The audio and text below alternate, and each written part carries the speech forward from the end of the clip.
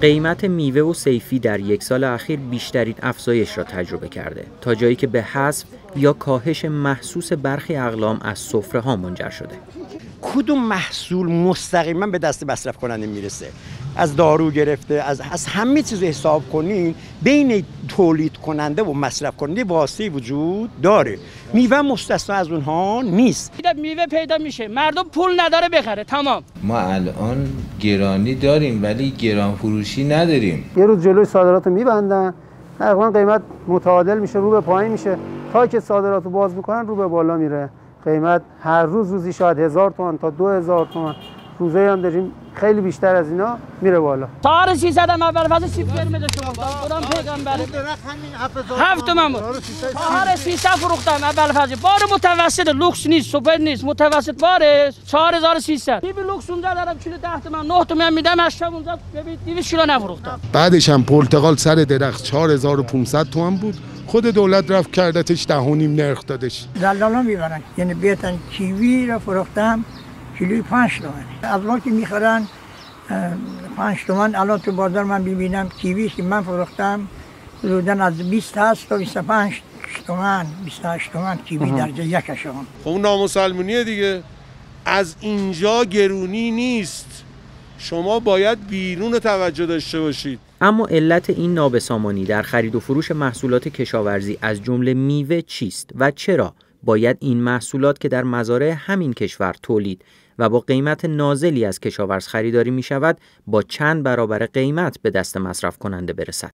تورم، دلالی، صادرات یا گران فروشی مهمترین دلیلی که تقریبا همه دستندرکاران بخش کشاورزی بر سر آن اتفاق نظر دارند حضور دلالان و سوداگران در بازار است موضوعی که البته بارفروشان آن را رد می کنند و فروشندگان میوه سطح شهر را مقصر می دانند.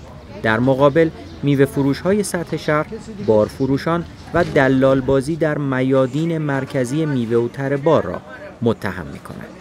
الان پرتغال خوب تو میدون کیلو 11 هزار تومن. از 9 تومن بله از 9 تومن 8 نیم داریم تا 11 هزار تومن. خوبش. پرتغال خونی هم 12 12 و نیم خوبش. آنتیکش. سبدی که پارسال 3 هزار تومن بوده الان شده 10 هزار تومن. کرایه ای که پارسال نیسان واسه ما بار میورده 350 هزار تومن الان شده 750 هزار تومن مشکل اصلی همین مغازه و خیابون و گلف و اینا نیست. است مشکل اصلی میدون تربار بزرگه. سه برابر شده. البته هزینهش پنج برابر شده. همه چیز همه چیز. ببین هزینه تولید اگر این پرتقال چهار تومن بخواد بشه باغدار باید کلا باغش درختش درختش در بیاره بریزه دور. عمده مسئله و مشکلاتمون بحث فاکتوره. حالا بحث فاکتور در مبدع انجام نمیشه یا اگر انجام میشه سوری یا غیر عرف یا اصلا فاکتور نیست. میگن فاکتور به ما بارفروشا ندادن.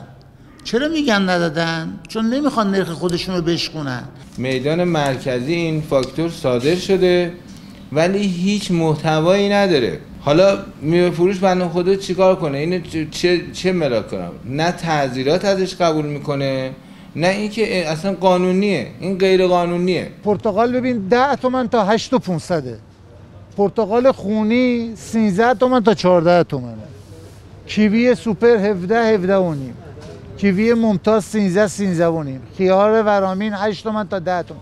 هم تابلو دارن هم فاکتور دارن. متوجه هم می‌تونید از خودشون استعلام کنید. یارو تابلو زده پیاز 1300 تومن. من خریداری که میرم بخرم آقا 4600 تومن. سیب زمینی تازه میرم می‌خرم. 8500 ولی تابلو زده 2800 مسئولم میاد میگه اون 2800 رو می‌بینه. اون نمی‌بینه که من خریدم مثلا 7500 سیب زمینی من زده 7500 الان شما زنگ بزن.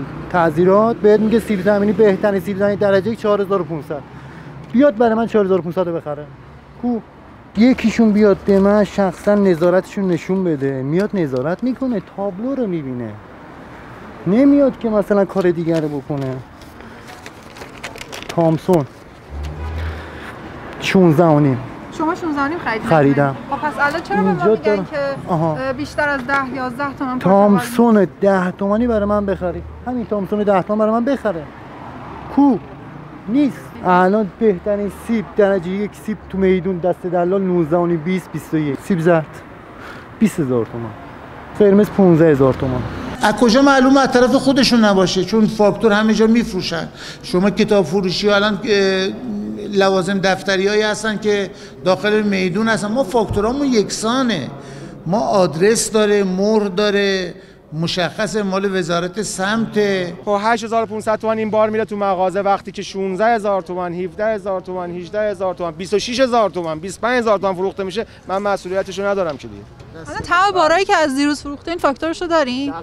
8000 تومان خونی سبد بزرگ. خونی 9000 تومان. 12 تایی 8500 تومان تامسونه. خونی 11500 تومان که خیلی خیلی دیگه سوپرش بوده. بیشترم نمی‌خرن. فرزن طرف می‌خواد ظرف یک ماه کل اجاره یک سالش از این یک ماه در بیاره. در میدان مرکزی این قول به شما بدیم تماما فاکتور صادر کنن فاکتور معتبر که تعذیرات حکومتی بازرسین محترم که حالا از ارگانهای مختلف و بازرسین اتحادیه وقتی در مغازه میره این فاکتور معتبر رو اگه داشته باشن ما به شما قول بدیم کمتر از اون سودی که لحاظ کردیم به اعضامون بگیم که لحاظ کنن. یکی خالص فروشی که انجام نمیشه.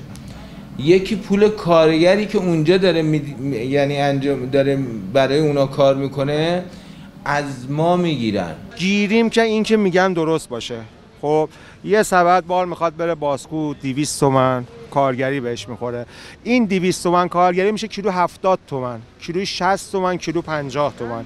کیلویی 50 تومن به کیلویی 10 هزار تومن اضافه فروختن ربطی نداره. حالا این دلال از کجا به وجود میاد؟ آقای بارفروش ساعت چهار بعد از ظهر که میاد بارشو میفروشه دلال دلال میره.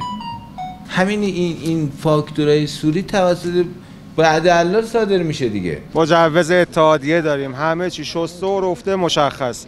یعنی اینی که فرزند اعلام می‌کنه آقا صاحب بار اونجا بار رو فروخته به دلال دلال 6000 خب اون دلالی هم که اینو خریده 6000 تومان 2000 تومان بهش هزینه فروخ خورده ما هم اینجا فروختیم 8400 تومان.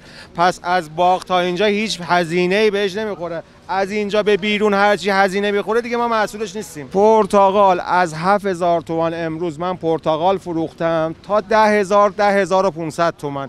بهترین بارمون سوپرترین بارمون بسته بندی عالی. خیلی خوش رنگ و خوش قالبمون 11000 تومان. سیبم از 3700 تومان. همسایه من سیب فروخته. از 3700 تومان. تا خودم که 5000 تومان دارم سیب میفروشم. ما دیروز پریروز که گشت داشتیم پرتقال 28 هزار تومانی فاکتور داشتیم که طرف خریده. آقا 28 هزار تومن من این پرتقال رو خریدم. فاکتور رسمی هم دارم. سود مصوبه هم لحاظ کنم بله شاید به 35 40 تومن هم برسه. اما اون اشکال داره. ببین عرض و تقاضا یعنی از بود دیگرش ما می‌خوایم چی بگیم؟ می‌خوایم بگیم هرج و یعنی عرض و تقاضا اینجا الان این قیمته. برو اونورتر یه قیمته. دو ساعت بار دیرتر اومده یه قیمته. این اصطلاح دیگهش به نظر من میشه هرج و مرج. من متاسفم اونا اصلا کدوم کارشون ساعت کارشون درسته؟ عرضه فاکت... صدور فاکتورشون درسته؟ به قولی خالص فروششون درسته؟ نگرفتن پول کارگر خودشون از ما چیشون درسته که ما بگیم آقا این, این یکی درسته؟ هر اشکالی داره. من قطعا و تاکید می‌کنم که از اونجا هست. ما نمیگیم داخل صنف ما تخلف نیست ولی به ندرت هست به خاطر اینکه ما یه کلونی هستیم. متوجه ولی خورده فروش ها اینطوری نیستن. یکیشون شرق تهرانه یکیشون غرب تهرانه یکیشون شمال تهرانه یکیشون جنوب تهرانه. نظارت روی خورده فروش ها مشکل تر نظارت روی می‌دونه. میدون یه محدوده بسته است. 270 هکتار بسته است. یک ساعت می‌تونه نماینده تعذیرات تمام میدون رو رصد کنه کنترل کنه. متوجه ولی خورده فروش ها رو می‌تونه ظرف یک ساعت کنترل کنه؟ من که با لفظ دلال مخالف نیستم. ولی اگر منظورتون عرض کردم واسطه های غیر ضروره خودشونن. اتحادیه خورده فروشانن. 4800 نفرشون پروانه کسب ندارن. اونا نظارتی روشون نیست. اونا موارد بازدارندگی اونا به کسی جوابگو نیستن. چون پروانه کسب ندارن. ولی من که پروانه کسب دارم اگر تخلفی بکنم طبق ماده 27 و 28 قانون نظام سنفی می‌تونن بیان در حجرم و پلم کنن. ولی اونا چون پروانه کسب ندارن متوجه اونا نظارت به کسی پاسخگو نیستن. هم تابلو داریم ما هم فاکتور داریم هم فاکتورهای یه نواخت داریم همسان داریم. فاکتورامون هم زیر نظر وزارت سمته. و مورم می‌زنیم آدرس و اینا هم داریم. اینا به خاطری که فاکتور نشون ندن که به 25 درصد تا 35 درصد قانع نیستن میگن بار به ما فاکتور نمیدن. اصلا کلا میدون دلار جلو هر حوزه رو به 5 5 دلار 6 دلار اجاره دادن. خود بارفروش شب میاد اگر چیز باشه عمده میفروشه. به همین دلار خداحافظ شما. کلا انقدری که راغبن به دلار بار بفروشن به دکوندار راغب نیست. چون خیالشون راحته. یه دفعه چهار تا دلار میاد یه ده خالی می‌کنه. بعد میارن کیلو هزار تومن من بس 1500 تومن. بالاتر بدم از دلال بخرم. سالیان سال از این واژه دلالی تو میدون استفاده می‌کنه. همچین چیزی وجود نداره. دلالی در میدون هست دلال. نه که دلال دلال اونایی که مثلا میان از من 20 پرتقال می‌خرن. شب مثلا از خوابشون می‌زنن می‌برن واسه یه مغازه. داری مثلا 500 تا می‌کشن روشو میدم. دلال خیلی کارا رو هموار می‌کنه. خیلی از این مغازه دارا هستن اصلا بارشون رو به صورت تلفنی خریداری می‌کنن. یعنی خودشون حضور ندارن. بار گرونتر باشه بیرون من می‌دونی ضرر می‌کنم. بار وقتی که خرید کم میشه وقتی که 35 درصد بخواد روی بارش بکشه بازار منم روونتر میشه. کشش بازار منم بالاتر میره. مردمم بیشتر می‌خورن. پرتقال خوب و بد و ضعیف و این حرفام هزار تومان بالا پایینه. بله من پرتقال دارم بالا هستش.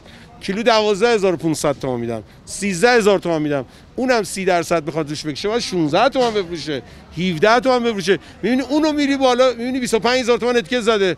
بابا همین تامسونه همین باره همین جنسه. چه دلیلی داره؟ من منزلم هستش سمت شهران هستم. من رفتم دیدم آقا پرتقال زای 20 تومن یا می‌خواد نامسلمون. پرتقال چند خریدی؟ 12 12 نه 13 خریدی. باید 17 بفروشی 16 بفروشی. 23 هزار تومان بی انصافیه بیشترش زایاتشه فکر می‌کنم زایاتش زایات بارش خیلی بیشتر از اون چیزی که مثلا روی بار یه جوری چیدن زیر بارش یه جوری دیگه است. زیر بار ریز میچینن روی بار درشت. بعد اینا یه قیمت کلی مثلا می‌ذارن 12 هزار تومان. ولی خب اون زیرشو شما هیچ وقت نمی‌تونی به قیمت 12 13 هزار تومان بفروشی. شما رو زیرشو باید بفروشی حداقل 8 تومن. روشو باید بیشتم نمی‌تونی روشو بگی 20 درصد می‌کشم زیرش هم 20 درصد. چون برای درهم فروشیه.